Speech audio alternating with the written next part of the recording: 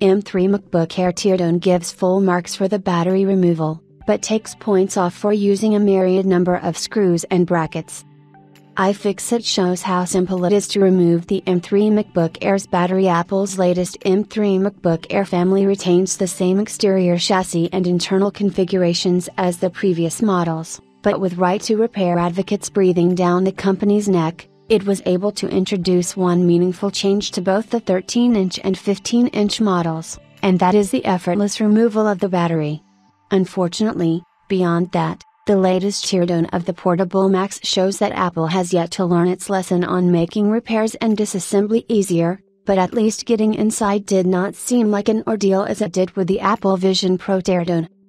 No adhesive keeping the battery in place means that M3 MacBook Air owners can potentially perform their own replacements.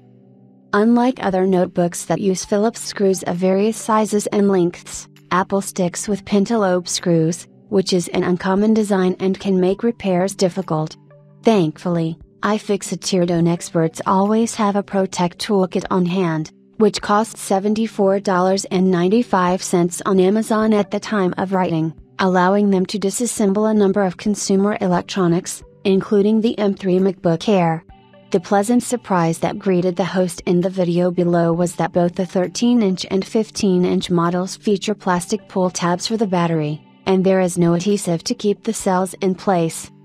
However, every other part of the teardown can become a headache because there is a bevy of screws and brackets that have to be removed and placed back in the exact same spot that they were removed from, which can be challenging. It also does not help matters that these screws are not numbered and there are no labels on the inner parts of the M3 MacBook Air chassis so iFixit decides to take a dig at Apple by mentioning that the framework Laptop 16 follows this approach, and it is a company that is significantly smaller than the Cupertino firm.